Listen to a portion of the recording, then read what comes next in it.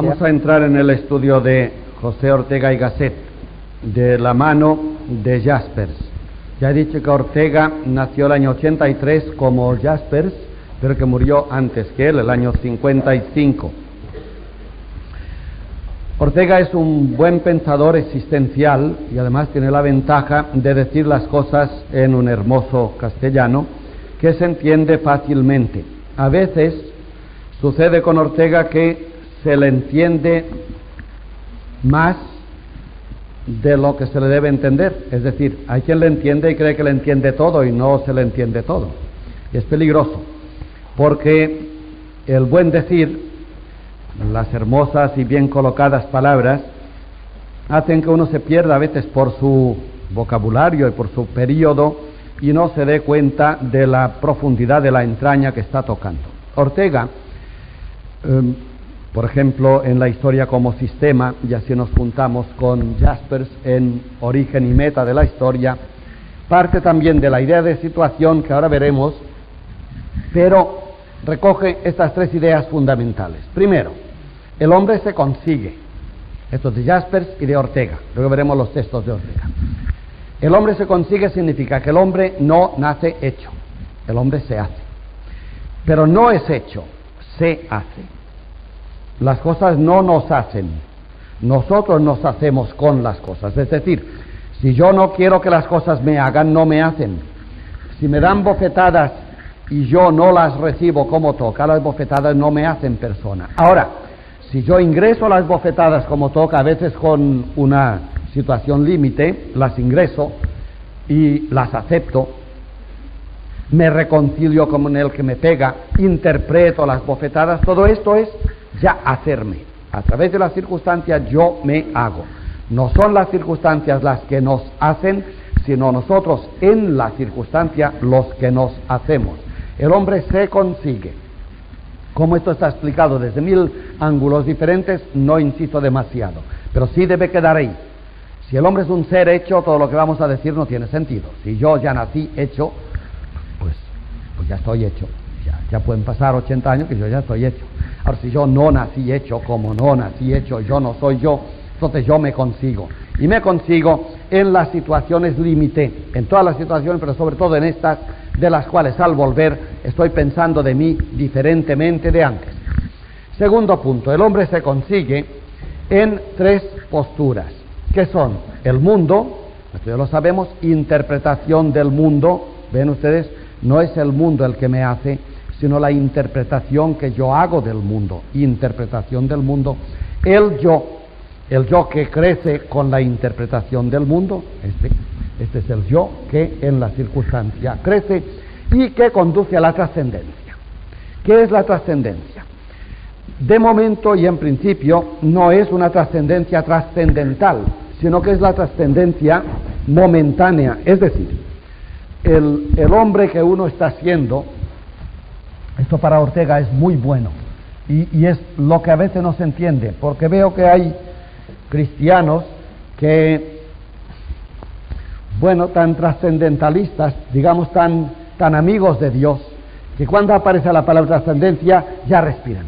Ay, por lo menos este nos lleva hasta Dios. Hay quien se sitúa de entrada en la trascendencia lo cual quiere decir que no ha pasado ni por el mundo ni por el yo. La higuera está en la trascendencia directamente ya. El hombre no. Entonces estos creyentes que ven el cielo abierto cuando oyen hablar de trascendencia son hombres idos de sí mismos.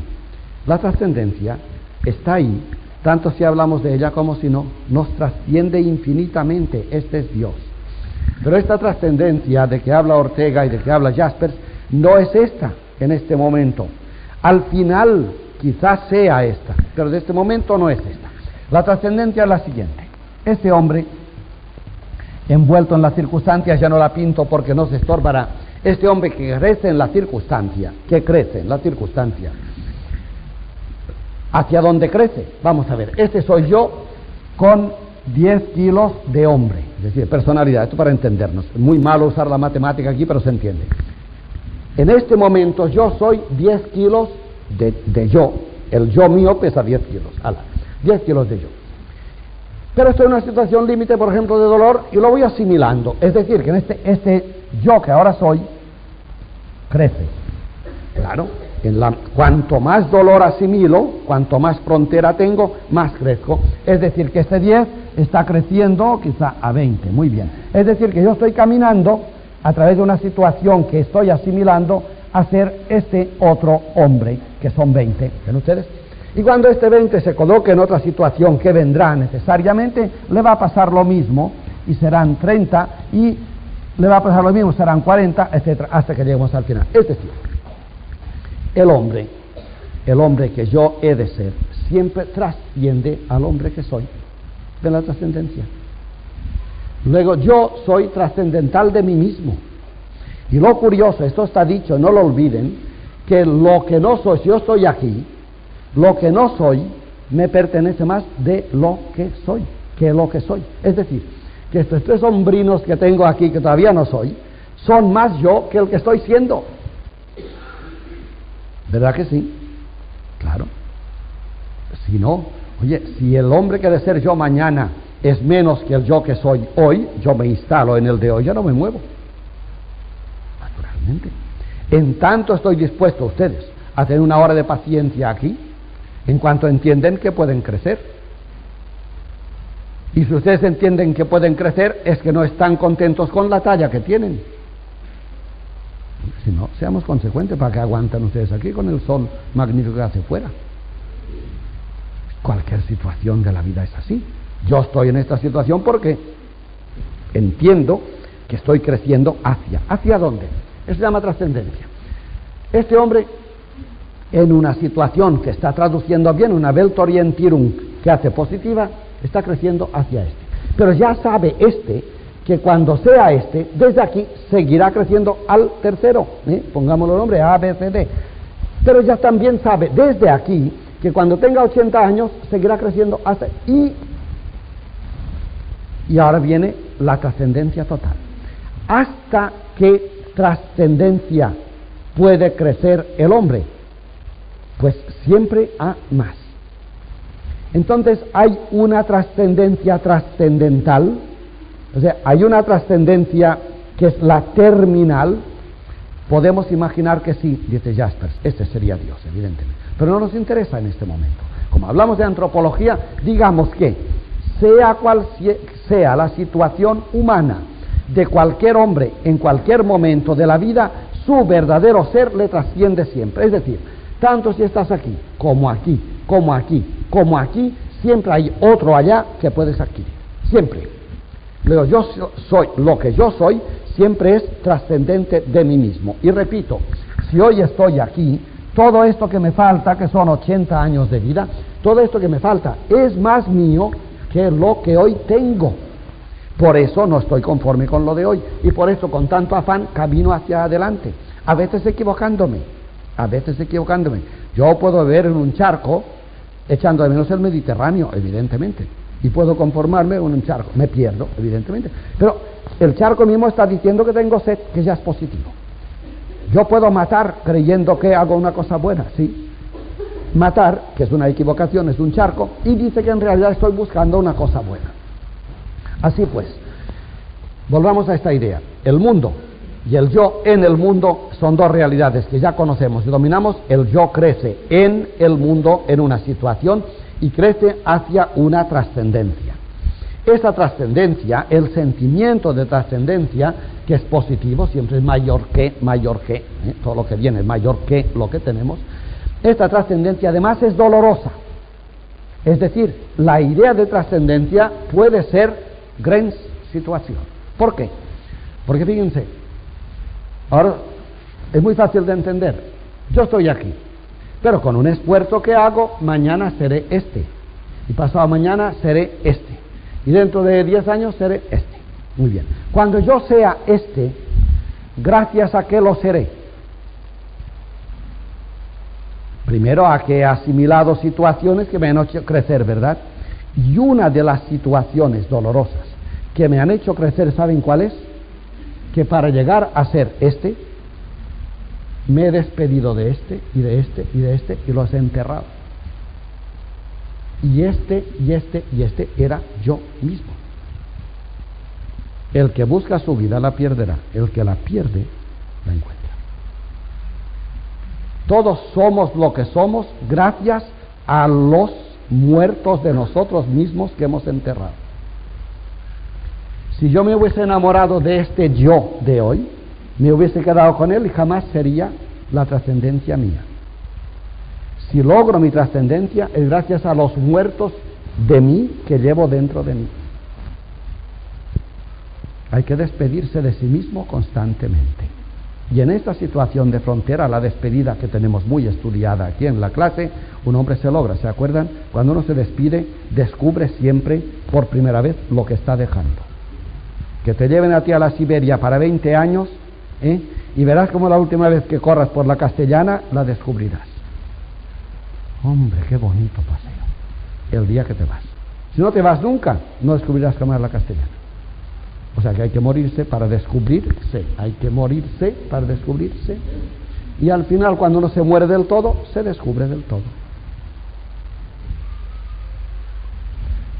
Ortega, leo unos textos que van por ahí. Este final es, el hombre es cifra. La, cifra, tenía la manía de la cifra el pobre Jaspers. Siempre hablaba, medio en francés. Eh, la cifra, ¿qué es? Bueno, pues el hombre cifra significa que el hombre es una cifra. Hasta aquí nada, ¿no? Pero el verbo ya lo dice. ¿Y descifré qué es? Ah, el hombre es una cifra que hay que descifrar. ¿Y cómo se descifra la cifra que es el hombre? ¿Eh? ¿Qué palabrita más? Los existencialistas son maestros en las palabras. ¿Cuál es la cifra? Alberán Ortega, que bien usa la idea, la palabra cifra no aparece. ¿Cuál es la cifra que hay que descifrar para lograr al hombre? Bueno, primera, la que hemos dicho. Este hombre es una cifra que se descifra juntando todo lo sido y pronosticando todo lo por ser. Primero, es decir, el hombre se descifra en su historia. Yo he sido un niño de siete años y soy yo, lo soy todavía y no lo soy, claro, porque lo tengo enterrado ya este, pero lo soy. Si no hubiese pasado por los siete años, no tendría los que tengo, ¿verdad que no? No, no se puede. Segundo, y yo lo que soy además ya es proyecto de mí, porque yo ya estoy proyectando el año que viene lo que haré, por tanto el año que viene ya está presente y está condicionando mi presente. He aquí una cifra. Pero segundo, es que además si coges al hombre y lo descifras, es decir, si tú tienes una cifra que es un 8 y pones igual 1 más 2 más 3 más 2, ahora es descifrado, todavía no has acabado de descifrar porque incluso el 1 se puede descifrar, pero has descifrado ya el 8. Este 1 pues sería en el hombre, ¿ves? El hombre de 7 años que ha sido, el de 20 que ha sido, una situación límite en que te morías y al final no te moriste. Todo esto es descifración del hombre, su historia. Pero segundo, es que además de estas cifras coinciden con momentos que él llama Weltorientierungen, eh, eh, situaciones de respuesta al mundo. Tú fuiste uno, en el momento en que eras uno, ¿eh? porque fuiste el alcalde de. Claro. Y ese 2 significa cuando tú estabas estudiando medicina y, en cuarto te suspendieron y volviste a empezar y empezaste por arquitectura. Ese es el 2. Y el 3. El 3 es cuando te casaste, te salió mal, te descasaste, luego te volviste a casar, también te salió mal y la cuarta vez, este es el 3. Uf, cuántas cosas, cuántas capas hay en el hombre. Esta es la cifra del hombre. El hombre es el conglomerado de su historia. Este hombrecito viene de otros hombrecitos enterrados y este vendrá de otro enterrado y este camina hacia estos. Esto es una, una cifra. Por tanto, hay que ver el hombre como en la pantalla que se descifra, se deshoja y se abre, por una parte. Y segundo, y cuando le tienes abierto en cifras suyas, cada una de las cifras suyas es además un comportamiento de él con el mundo. Con el mundo significa con una situación vital. Fue presidente del gobierno. He aquí una situación, una cifra de este hombre. Y cuando llegamos a la segunda descifración o desciframiento, es decir, el hombre su situación vital, vamos descubriendo que no solamente el mundo, por ejemplo, fue alcalde, la alcaldía ha influido en el hombre, sino que el hombre hizo también una forma de ser alcalde nueva, una alcaldía nueva.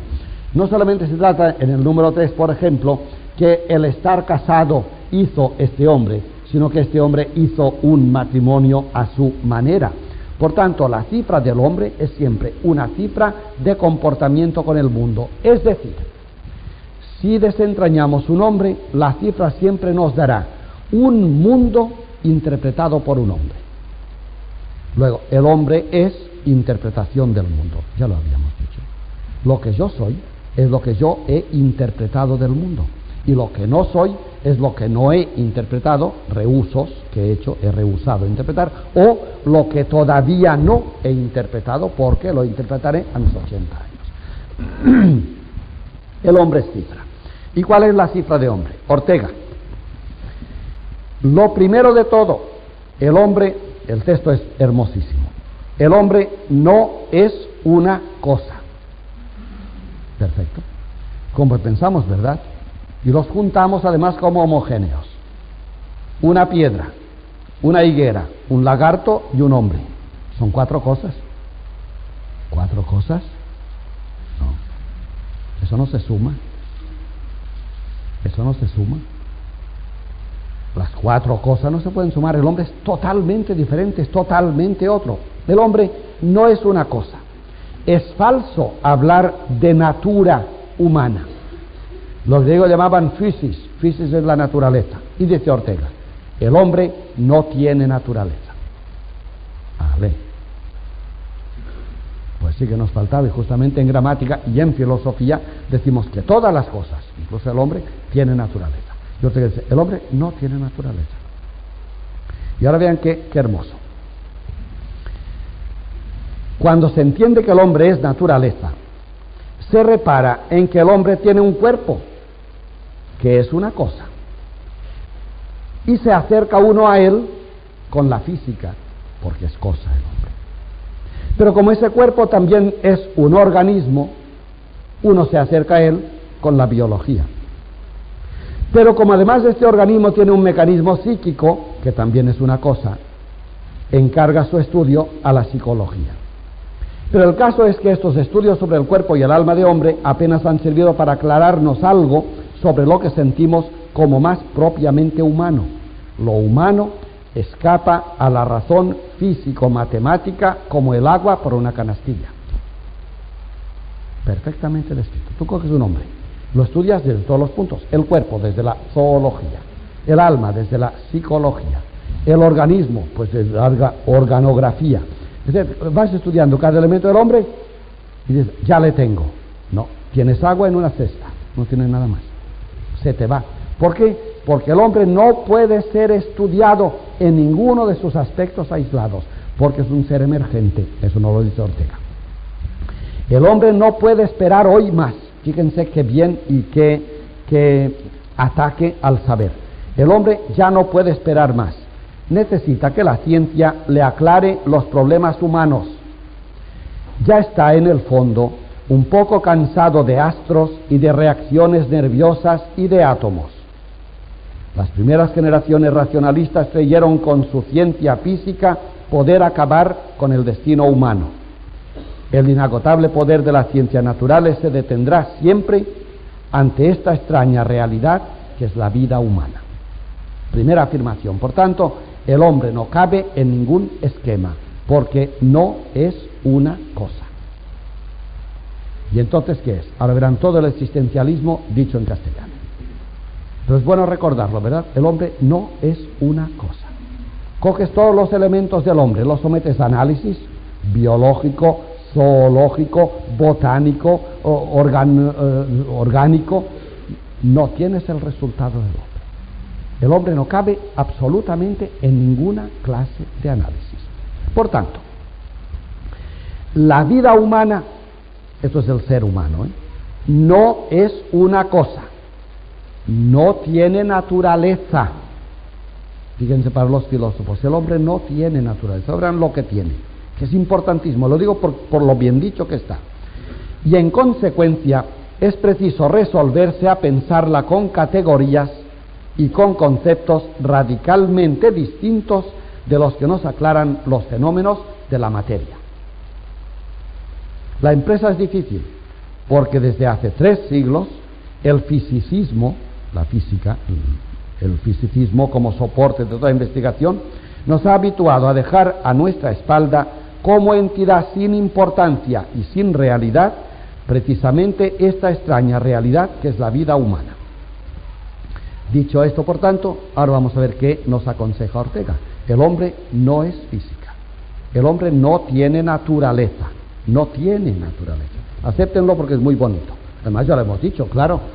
Yo no he dicho que este, este, hombre tiene naturaleza, es decir, este hombre tiene un ser hecho. No, naturaleza es ser hecho, no, este hombre no tiene naturaleza. No tiene un ser hecho. No está hecho el hombre.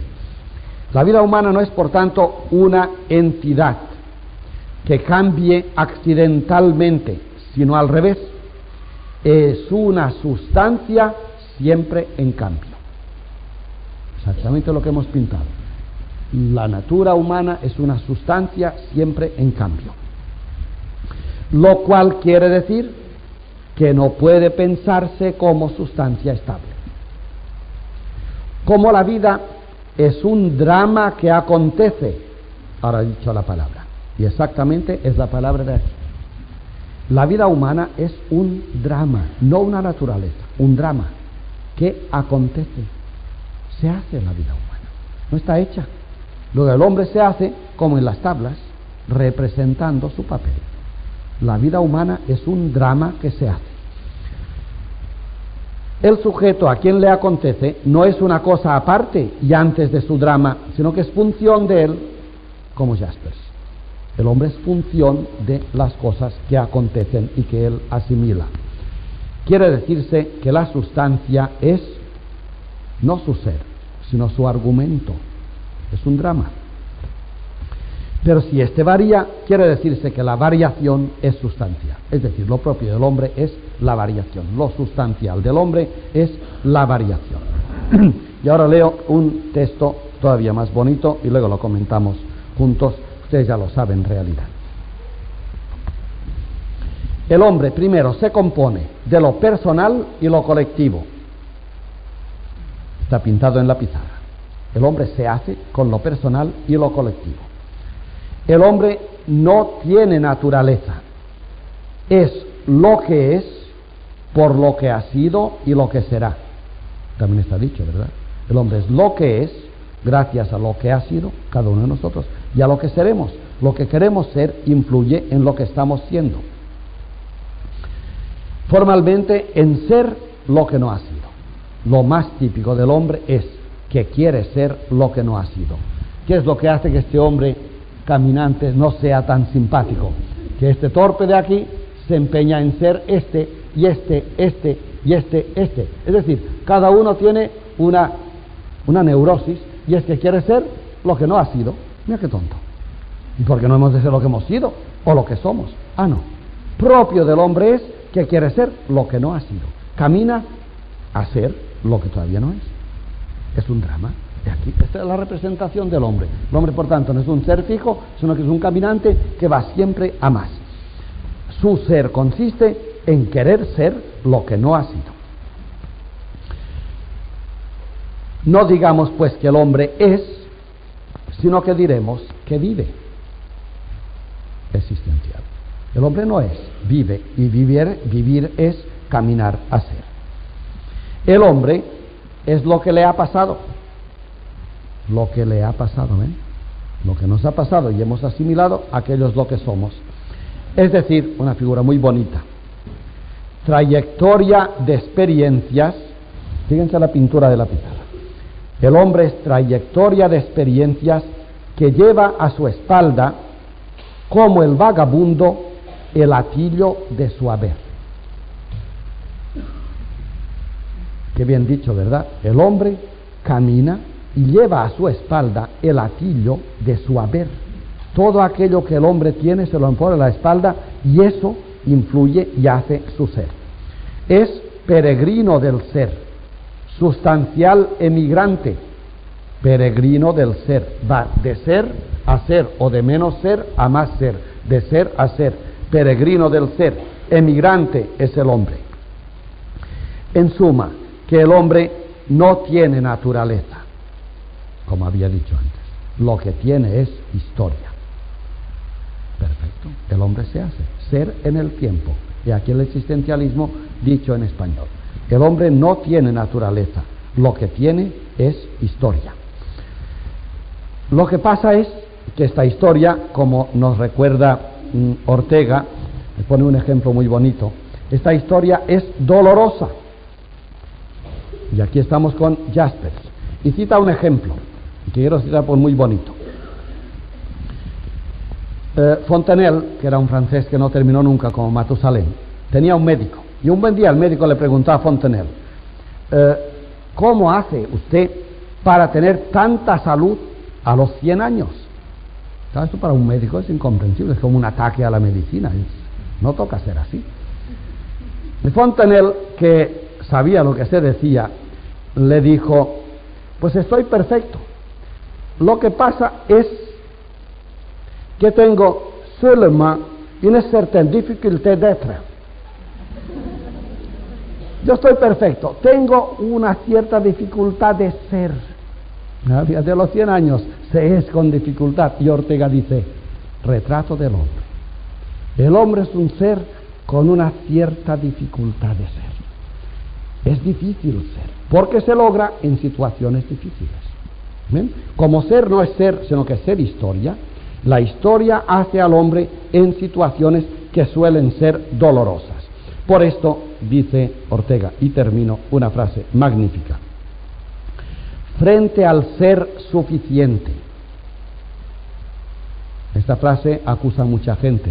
El mundo está lleno hoy de seres suficientes. Tienen la solución de todo.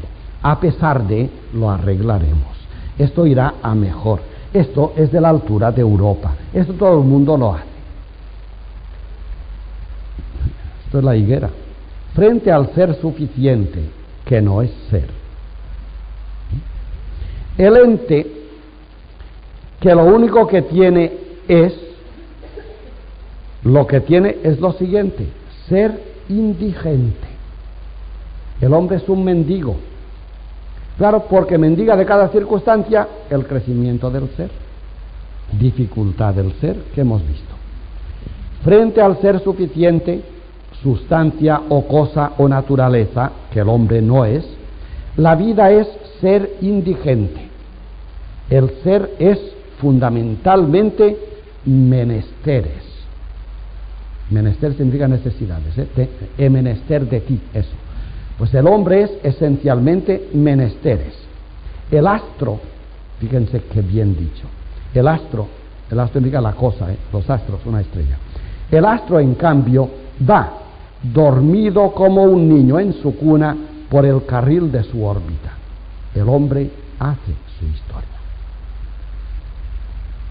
Así que los astros si van inertemente por el carril de su órbita, sin que nadie empuje ni nada. Ahora los hombres hacen dolorosamente su historia. Bueno, con ello, queridos amigos, hemos visto dos, nueve, nuevos autores, Ortega y Jaspers, de nuestro tiempo, que nos han enseñado a pensar y a pensar seriamente, no ya el ser del hombre que teníamos pensado, sino el crecimiento del hombre en la historia que se hace en contacto con el entorno, Weltorientierung, y en las situaciones de frontera que solemos tener asimiladas, por ejemplo la muerte y el dolor, todos sabemos que ahí se crea algo nuevo, en cambio la culpabilidad no, la culpa también es punto de frontera.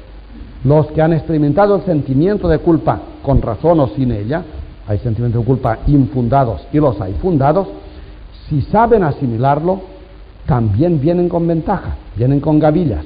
Peggy decía, el único que puede hablar de Dios es el pecador. Claro, porque es el único que sabe cuán grande es Dios al perdonar. Vale la pena de pecar para que uno se entere de quién es Dios. Ahí estamos, ¿ves? La sensibilidad, el sentido de culpa puede ser tremendamente enriquecedor del hombre si sabe asimilarlo y dominarlo.